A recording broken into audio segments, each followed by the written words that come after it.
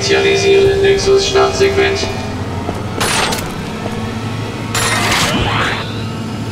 Initialisierung abgeschlossen.